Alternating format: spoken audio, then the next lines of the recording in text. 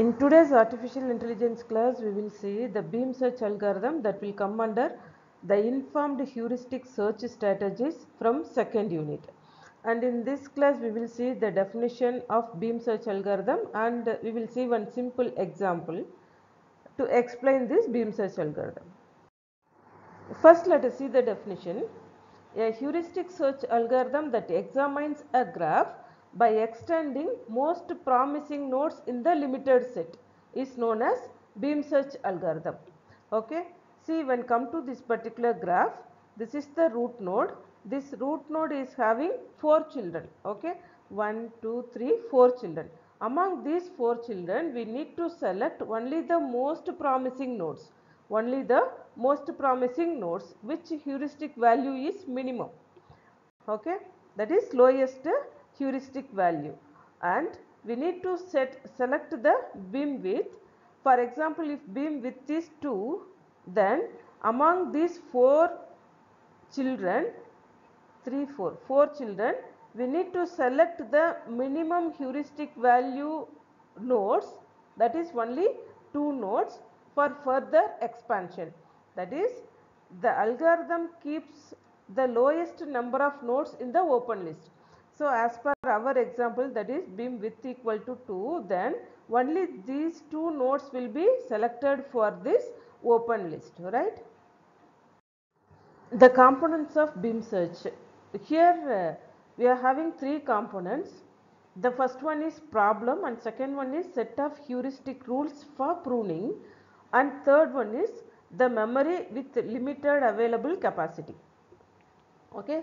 First let us see this problem. Problem is normally represented as graph which contains a set of nodes that is a collection of nodes in which one or more goal nodes may be there.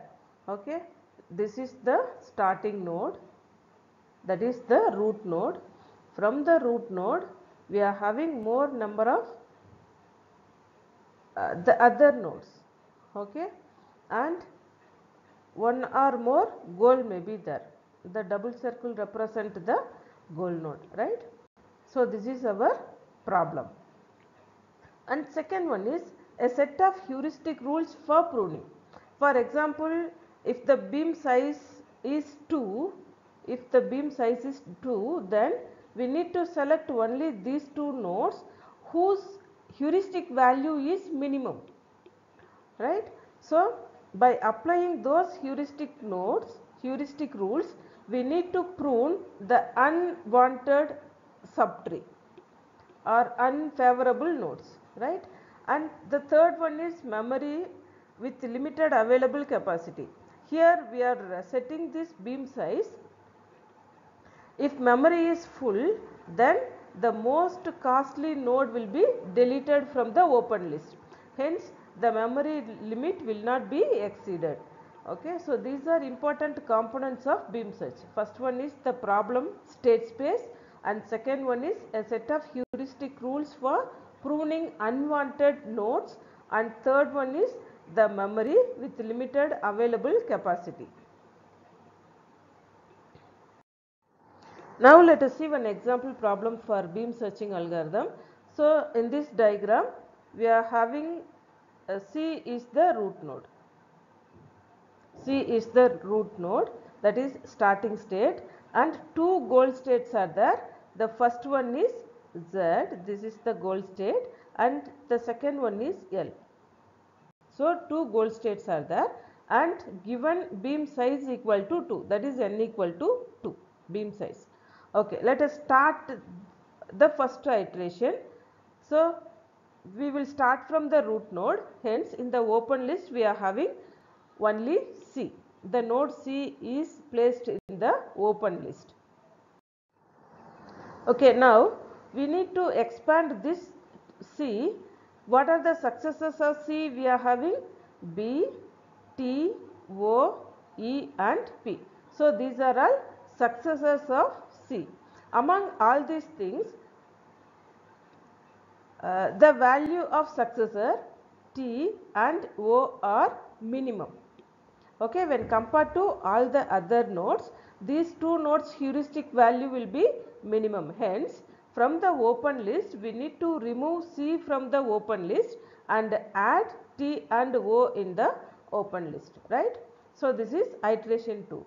When come to iteration 3 T the first node in the open list is tree isn't it. So, T has no successor because this is the leaf this is the leaf node isn't it. Hence, we have to remove T from the open list.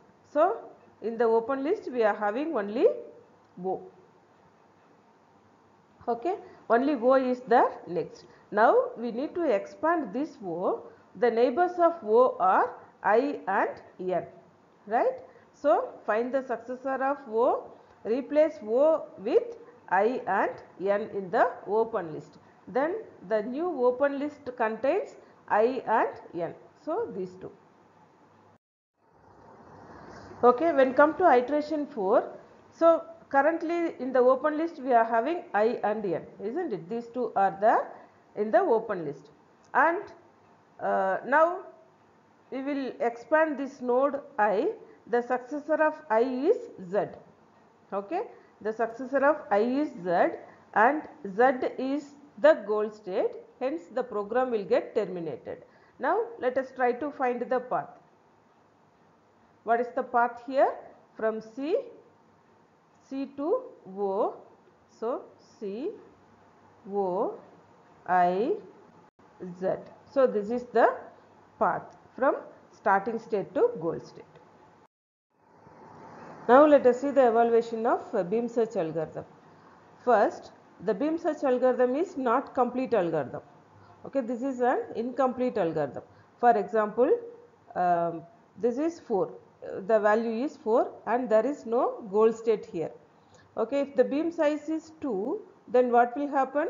Only these two nodes will be selected for uh, uh, selected in the open list isn't it? Hence we cannot reach the goal, we cannot reach the goal. So, this is called as an incomplete algorithm right and second one it is not optimal so, by using beam search algorithm we cannot find the optimal solution because this algorithm is highly dependent on the heuristic value only the heuristic value right.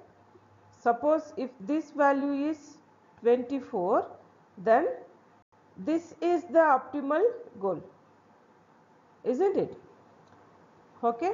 So, based on the heuristic value only we can reach the goal hence this is not optimal algorithm and the time complexity and space complexity is order of uh, B into M. Here B is nothing but the beam width and M is nothing but the maximum depth of any path in the search tree. So, this is the depth right. So, this is the evaluation of beam search algorithm. If the beam size is 1 then the beam search algorithm is turned to best first searching algorithm right.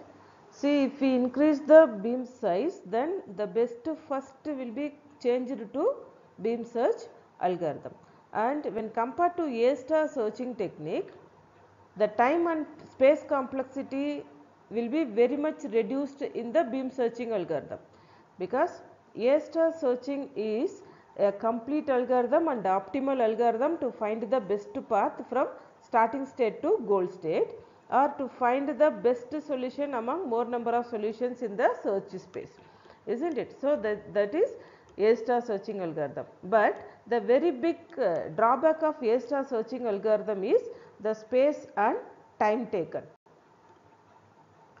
time taken to reach the goal isn't it. So, to overcome those drawback we can introduce this beam searching algorithm. So, based on the size of this beam this algorithm uh, reduced at least 70 percent of space and time.